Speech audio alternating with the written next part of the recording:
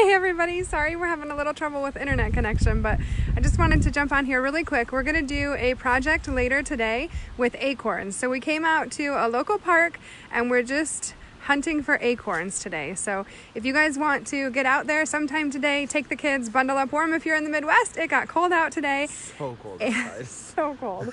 and then um, head out to your park and look for some oak trees and see if you can find some acorns. We're going to be doing some fun projects later today with them. So um, once you're out and hunting, you want to find acorns that have. Um, that are fully intact because we're going to be painting them. Here's a few of the ones we picked up a little bit earlier. Um, just make sure they've got a little bit longer bottom on them and a nice cap. And then we're going to be painting these in some gold and some colorful colors. And there's another one he's finding. But head on out to your park today and pick up some acorns. And later tonight, we're going to get together and paint them and make some cute table decor with them. So, hope to see you guys later. Thanks for joining us. Bye bye. Hi, everybody. Happy Sunday night. We um, we did some acorn hunting this afternoon in the park, and I'm just gonna jump on here really quick and show you guys how to um, take.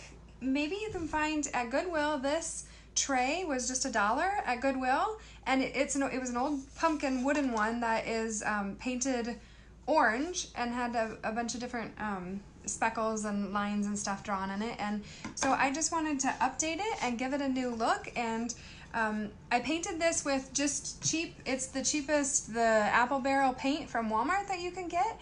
And I went ahead and just painted two layers on. So I painted one single coat on that and then I painted another.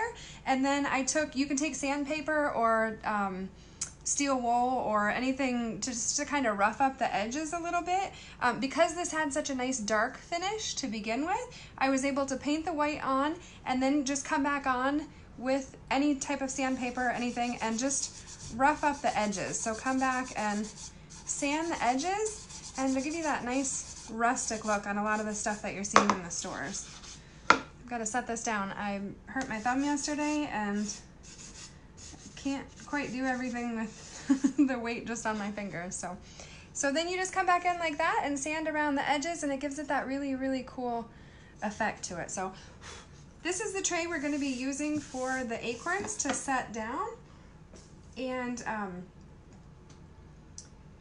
we have a couple different options for doing the acorn. So this will be painted all white and then you'll go back in and distress the edges and and then you can come in and we picked up, when we were picking up acorns, I also ended up picking up a bunch of leaves and I thought that would actually kind of make a really cool um, way to decoupage on the top of that. So once you could paint this like a, a medium green color with a chalk paint and then come back and decoupage this leaf on or you could go with a solid orange color um, anything just to get this pattern off of it and then come back in and decoupage maybe a leaf on it. Um, we did some acorns that were in white. I thought those would be really pretty with that. Or you could come back in with pine cones and just paint the edges of the pine cone. That'd be a nice way to bring all the white together on the centerpiece. So um, that was one thought on this. Otherwise, we did some, painted some of the acorns in colorful colors. So we did bright colors. So you could add those with some different leaves. Um, another thing I did was take this warm metal paint that you can get from Target or there's a pewter color also. Um, they just both have a really nice shine to them. And then you can paint like part of the leaf. Um, a lot of feathers and stuff I've been seeing with this, just painting the edge a certain color. So I thought it would be neat too to do some leaves that are partially painted and then the acorns that match that. Oops, that one's hard to see. It's got a pretty good hole in it. Actually, that one's the silver one. I think this is the one that is the warm metal. Did a couple other colored leaves. So you can just add a little bit of color, a little bit of bling to it if you want to, or um, I'll show you guys just real quick on the acorns when you're ready to paint them. Um, just take a small brush and we're gonna do one in white.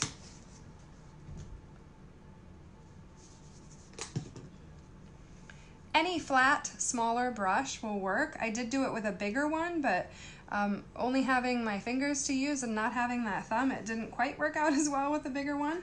So um, if you do find them and they have a little bit more stem on them like that, that one's got a big chunk taken out of it. So we'll look here.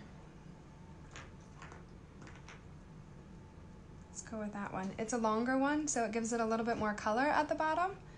Um, just go ahead and take your paint and start right at the base of that cap and just work your way down. And if you need to paint half of it and set it down, you can do that. Or I'll show you in a minute, once you go all the way around and get the paint on.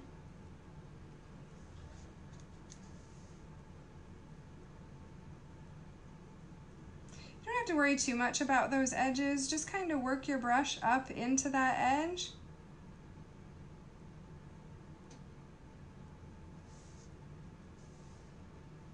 Get a nice clean line on there and then work it on the work your paint on the edge of the acorn and then just smooth it out and you'll let this layer dry and then you'll come back in. It'll probably take two or three coats on them, but um, you can pretty much rest them. Well, it's gonna make a liar out of me, but I guess it's probably best just to be safe to paint one side and then paint the other side. And, and these are beautiful all on their own. I thought those would be kind of fun just to leave with your other painted ones have different colors in there. So not much to it, guys. I just thought I would jump on here really quick. Um, when we were kids, my dad actually used to take these apart. So he would take the top off of these acorns and then he would cut down around it and turn them into rings. So when we were little kids and our fingers were little, or if we could find the bigger ones so he could wear them or mom could wear them, um, or now me as an adult could do that. Um, Sorry, I'm running out of battery here. Uh,